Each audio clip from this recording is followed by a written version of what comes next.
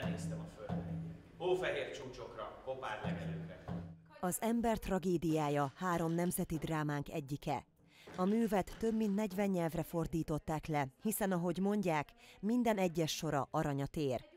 Idén az ifjúságnak adják elő az Ifjak a Magyar Kultúra napján a Kecskeméti Katona József Színház Kamara Színházában. Hangzása igazán különleges lesz a darabnak. A zenét a főszereplő Ádámot játszó Koltai Nagy Balázs írta. Saját számok lesznek ebben a műben, saját elgondolások, és ami hát az én számomra fontos, hogy, hogy aszimmetrikus legyen. Tehát, hogy nem, nem szokványos 4 negyed, 8 8 ütemeket használok, hanem, hanem inkább egy kicsit torzabb, változatosabb, 9 8 7 negyed. Számomra ez hozza meg majd a különlegességét. A darabot a teátrum igazgatója Cseke Péter rendezte.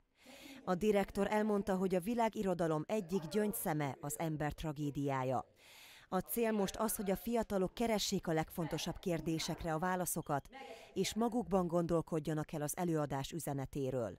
Ennek a drámai költeménynek a színpad álmodása az egy igazi misszió. Két célom volt vele. Egyrészt, hogy dramaturgiailag és látványvilágában közelebb hozni, mint a junior mondta is, tehát a fiatalokhoz. A másik viszont az volt, hogy mindenféleképpen a darabnak beszélnie kell arról, a legnagyobb kérdésről, hogy mi az életünk értelme és célja.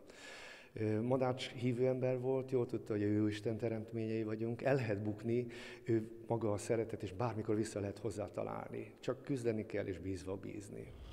A darabban a Lucifereket Cseke Péter osztálya, a Kaposvári Színművészeti Egyetem negyedéves hallgatói játszák.